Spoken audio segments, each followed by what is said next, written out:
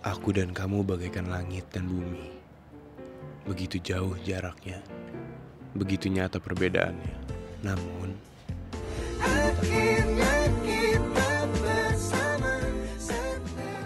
Saya nggak bisa terima. Saya udah bayar mahal, tapi kenapa servisnya mengecewakan seperti ini?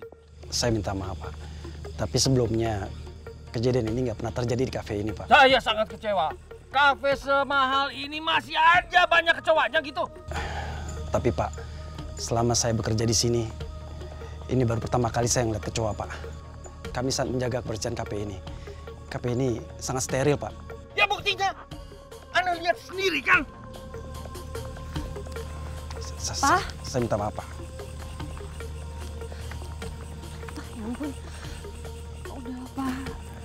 Kimi yakin ini bukan kesalahan dari pihak kafe kok. Ya terus siapa yang salah kalau begitu? Iya, mungkin aja menurut Kimi ya, Pak. Ini ulahnya Brian. Brian, kamu punya buktinya? Ya habis mau siapa lagi, Pak? Yang tiap hari cari masalah sama Kimi tuh ya cuma Brian. Dan kalau emang dia nggak salah, kenapa dari tadi Kimi teleponin dia nggak diangkat? Mas, kita sama sekali nggak nyalahin pihak kafe kok. Kita ngerti banget. Ah, iya, nggak apa-apa, Mbak. Kami minta maaf atas kejadian yang kurang menyenangkan ini ya, Mbak. Nggak apa-apa, Mas. Ya ampun, Ah, ah, bentar ya, ditinggal dulu. Iya, Mbak. Bentar ya, Mas. Iya, Mbak. Pelan-pelan Jamet. Iya, ini gue juga pelan-pelan. Emang gue lari? Iya, maksud gue ini kaki gue masih kram. Aduh. Gue juga tahu. Kok kalian berdua, Rena sama Aldo mana? Eh, Rena udah dianterin pulang sama Aldo. Dot, harusnya lu yang nganterin Rena balik. Lu jadi laki harus gentle dong. Ah, elah. Eh, Jamet. Gue bukannya nggak gentle, gue bukannya nggak mau nganterin. Lu lihat sendiri dong, kaki gue aja kram. Masa gue ngegas sama ngerem pakai tangan begini? Iya, iya, iya. Bener dulu. Iya, iya, iya. Yang di situ, lu nggak pernah kram. Lupa lu sih yang Kim, yes, ini kita udah beresin semua kado lu. Terus nanti kita bakal bantuin buat antar ke rumah, oke? Oh, thank you banget ya, girls. Welcome.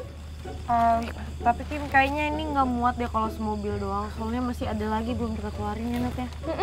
Ini juga siapa sih yang bawa kado gede banget kayak gini? iya udah kalau gitu nanti kado gedenya biar gue aja yang bawa pulang.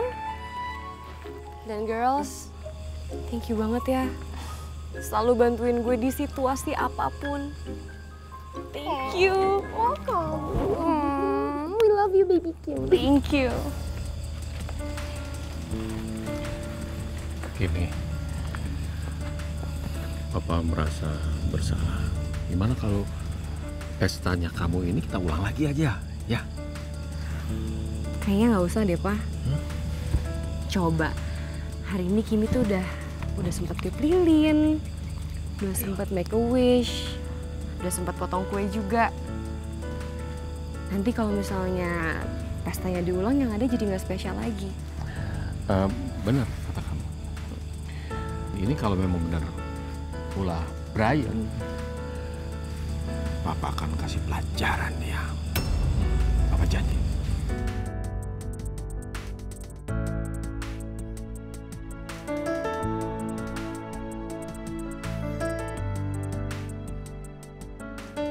Makasih banyak ya, Pak.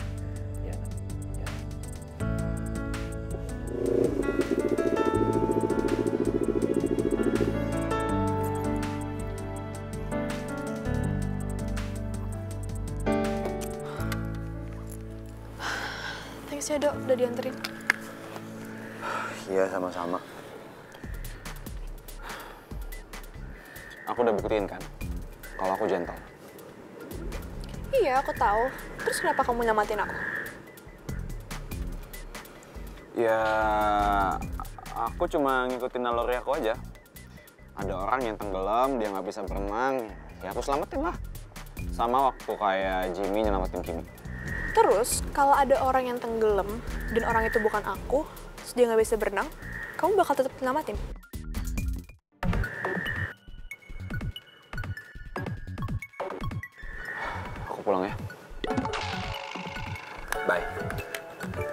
Kan? Ternyata bukan cuma aku doang yang gak move on, tapi kamu juga.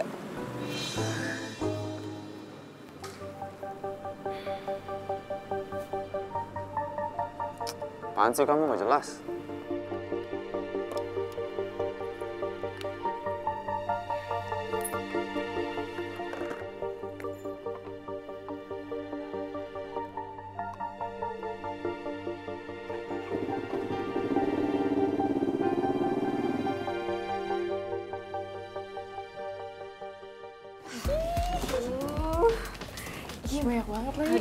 Banyak banget. Oh, bulan depan ulang tahun lagi aja. Nora sayang, ya literally nggak bisa dong. Namanya kan birthday, setahun sekali. Ya udah kalau gitu ulang bulan aja, biar tiap bulan Kimi dapat kado banyak lagi kayak gini. Iya seneng banget ya Nara, kadonya banyak banget. Tapi kalau ada yang iri, terus disabotase pestanya mau kayak kemarin, kacau gitu. Seneng loh kayak gitu. Oh my god, ya lo kacau banget. Beneran ya. Kalau sampai gue nemu orang yang bikin kacau pesta ulang tahunnya Baby Kim, gue bakalan kasih dia kue. Kasih kue? Iya, gue kasih kue. And then gue templokin tuh ke mukanya. So, Barbar ya nanya. lo yang ngajarin, Pop.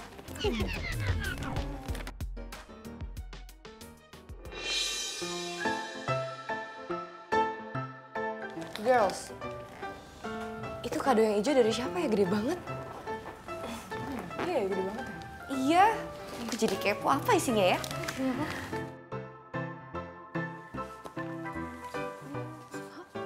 Girls! Wow, gede banget. Gede banget. So huge. Ih,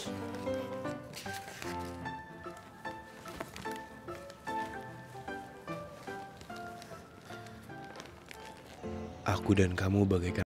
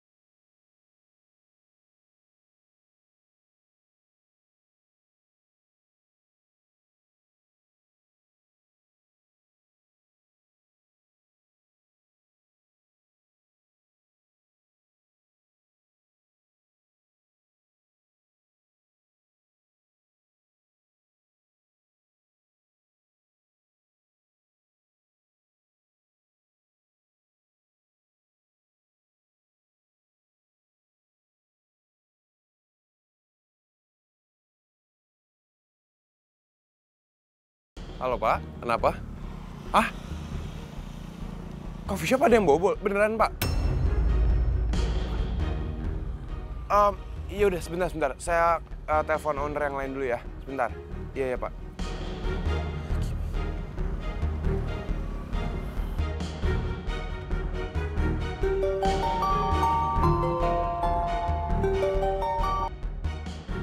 Kenapa lagi Jim? Kim gawat Kim. Tadi gue ditelepon security, katanya coffee shop ada yang bobol. Coffee shop dibobol. Iya Kim.